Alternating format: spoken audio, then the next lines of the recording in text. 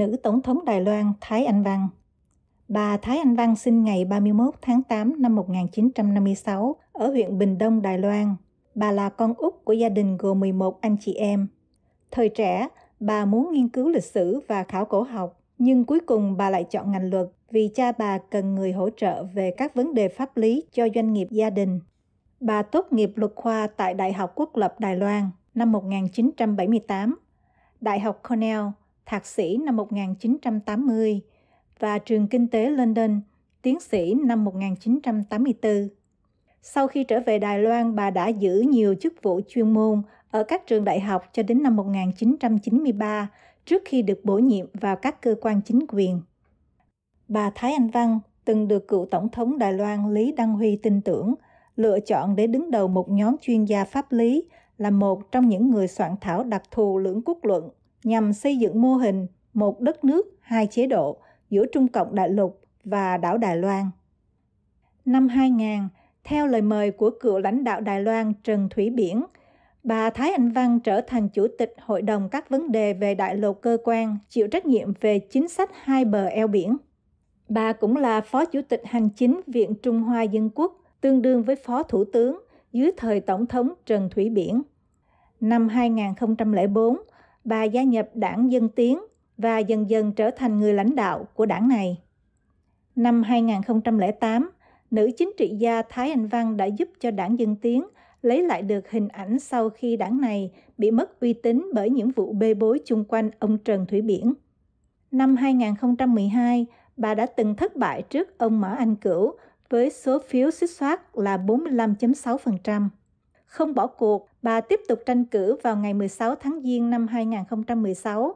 Trong một cuộc tổng tuyển cử Đài Loan, bà Thái Anh Văn, ứng cử viên đảng Dân Chủ Tiến Bộ, với 56.1% số phiếu đã đánh bại ứng cử viên Chu Lập Luân của Quốc dân đảng, chỉ đạt 31%.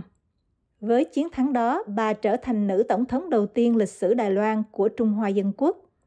Ngày 20 tháng 5 năm 2016, bà chính thức tuyên thệ nhậm chức Tổng thống Trung Hoa Dân Quốc.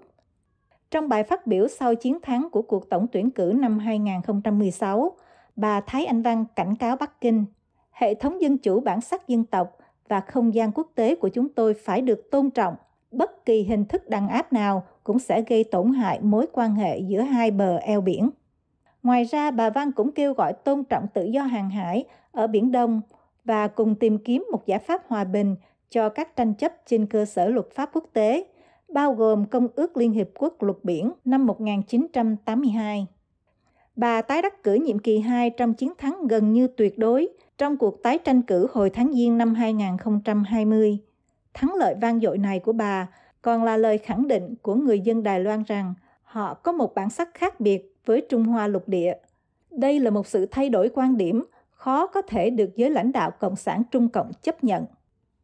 Như trong buổi nhậm chức nhiệm kỳ 2 hồi tháng 5 năm 2020, bà Thái Anh Văn tuyên bố mối quan hệ eo biển đã đến bước ngoặt lịch sử và hai bên cần tìm cách cùng tồn tại lâu dài. Chúng tôi sẽ không chấp nhận việc chính quyền Bắc Kinh sử dụng chính sách một quốc gia hai chế độ nhằm hạ thấp Đài Loan và gây tổn hại đến phản ảnh tình trạng xuyên eo biển. Đài CNBC dẫn lời bà Thái Anh Văn. Bà Thái Anh Văn là một phụ nữ bề ngoài không khác gì dân thường, nhưng đã thách thức mưu đồ của Tập Cận Bình khép tiếng, đe dọa dùng vũ lực sát nhập Đài Loan vào Trung Hoa lục địa. Cùng gần 24 triệu dân của mình, Tổng thống Thái Anh Văn quyết định không khoan nhượng ý đồ của chính quyền Bắc Kinh. Tại Mỹ, hồi cuối tháng 3 năm 2019, bà Thái Anh Văn tuyên bố không muốn Đài Loan thành Hồng Kông thứ hai của Trung Cộng. Bà còn nói, chúng tôi tìm kiếm hòa bình, không thù địch. Nhưng chúng tôi phải có khả năng bảo vệ tự do, dân chủ và lối sống của mình. Gần đây, bà Thái Anh Văn còn tuyên bố là sẵn sàng đón nhận người Hồng Kông tham gia biểu tình muốn sang sống ở Đài Loan. Hồi tháng 7 năm 2021, bà sang Mỹ bất chấp áp lực của Trung Cộng. Bà Thái Anh Văn nổi tiếng với một tuyên bố cứng rắn với chính quyền Trung Cộng đại lục rằng nếu Trung Cộng xâm chiếm Đài Loan, thì Đài Loan sẽ tấn công đập Tam Hiệp. Chỉ sau 30 phút, phân nửa đất nước Trung Cộng sẽ bị cuốn trôi và nhấn chìm dưới đáy biển sâu. Và kính thưa quý vị, với nhận định của Hồng Thủy về bà Thái Anh Văn trong bài viết ngày 17 tháng Giêng năm 2016. Bà Thái Anh Văn khắc tinh của yêu sách bành trướng Biển Đông. South China Morning Post ngày 16 tháng Giêng năm 2016 đưa tin, trong bài phát biểu sau khi chiến thắng bầu cử tại Đài Loan, bà Thái Anh Văn, chủ tịch đảng Dân Tiến đã nói với những người ủng hộ rằng người dân Đài Loan đã bầu ra một chính phủ biết bảo vệ chủ quyền của Đài Loan. Bà cũng cảnh cáo Trung Cộng rằng mọi động lực đàn áp sẽ gây tổn hại quan hệ hai bờ eo biển. Trước đó, với việc tàu khu trục USS Lassen của Hoa Kỳ tuần tra bên trong 12 hải lý của đá Subi, Trường Sa, Khánh Hòa, Việt Nam đang bị Trung Cộng chiếm đóng bất hợp pháp, bà Thái Anh Văn đã nhấn mạnh ba nguyên tắc. Một là các bên đều phải đưa ra lập trường và chủ trương trên cơ sở luật pháp quốc tế, bao gồm Công ước Liên Hiệp Quốc Luật Biển năm 1982. Hai là các nước đều phải chung nghĩa vụ bảo vệ quyền tự do hàng hải, hàng không ở Biển Đông. Ba là các bên có yêu sách và chủ trương khác nhau ở Biển Đông nên ngồi xuống bàn đàm phán, giải quyết tranh chấp Biển Đông bằng biện pháp hòa bình. Chính quyền quốc dân đảng năm 1947 đã tự vẽ ra đường lưỡi bò 11 nét, đòi chủ quyền với gần như toàn bộ Biển Đông, bao gồm hai quần đảo Hoàng Sa và Trường Sa của Việt Nam. Năm 1949, tưởng giới thạch thua Mao Trạch Đông và chạy sang Đài Loan.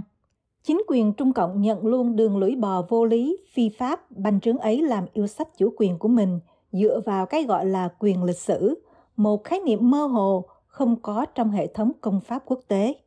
Do đó, Trung Cộng rất sợ giải quyết vấn đề Biển Đông theo luật pháp quốc tế, đặc biệt là Công ước Liên Hiệp Quốc về luật biển. Bởi vậy, không có gì khó hiểu khi Bắc Kinh liên tục đã kích lập trường tiến bộ của bà Thái Anh Văn trong vấn đề Biển Đông. Tháng 9 năm 2015, Sử Hiểu Đông, một học giả Trung Cộng, đã bình luận xuyên tạc về lập trường của bà Thái Anh Văn trong vấn đề Biển Đông trên tạp chí Bình luận Trung Cộng.